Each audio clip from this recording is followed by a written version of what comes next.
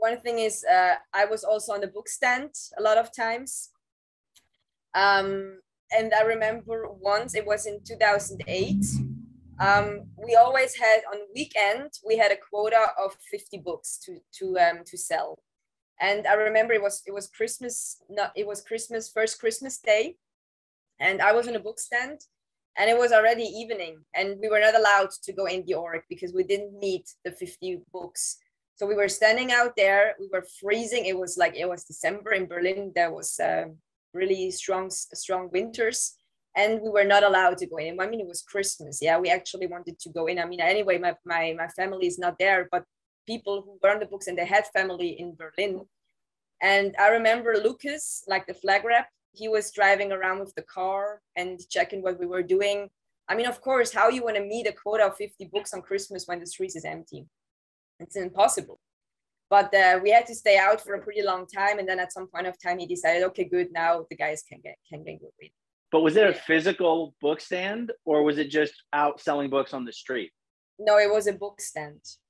But we could so, not say we could not say that we um, we sell the books. We said we had to say we're taking donations for the anti-drug campaign which is of course totally bullshit but we we had to say that because of the government as the government was watching Scientology, if they would know that we were actually collecting money for Scientology, uh, we would lose the um, the approval for the book stand.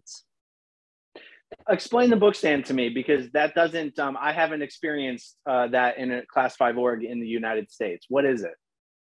Um, it's different stands with chairs where people can sit with the e-meter. Like we have, we had e-meters with us where we did the stress tests in order to sell the Dianetics books or whichever book they had. And um, but like you, but you set it up yourself, right? It's not like permanently there. No, no, we set it up by ourselves. We had the permission for a stand like Alexanderplatz, which is a famous place in uh, Berlin, and um, then we had a stand, and then we were body routing people or distributing flyers, and then the people would come, sit down, we did a stress test with them, and then yeah, the book, the book thing. So it's just a table, right? Yeah. Okay. So what you have um Dianetics books on the table and you're doing a stress test with the e-meter. Yeah, exactly.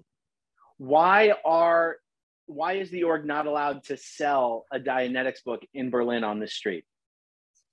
I think because Scientology is not accepted as a religion.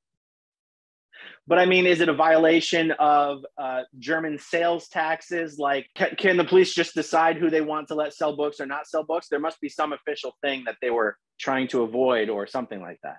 Yeah, I think so because the DSA Berlin, she was very behind us and was also watching over our shoulders when we were doing the stress testing to really make sure we're not saying we are collecting money for Scientology.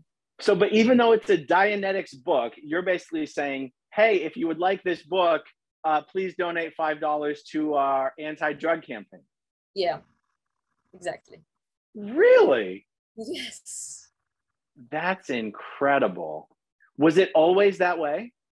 Yeah, it was never, never other, never another time.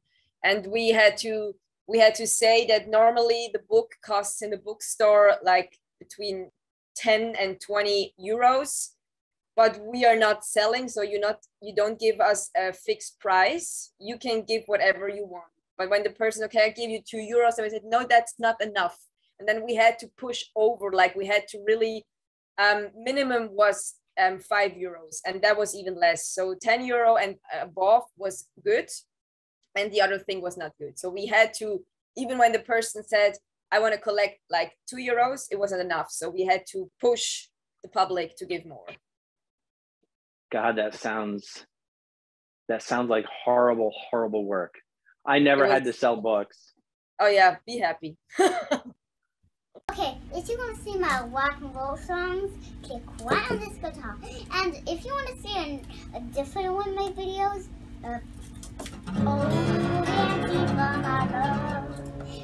then you could click right inside here. If you have subscribed or not, subscribe right.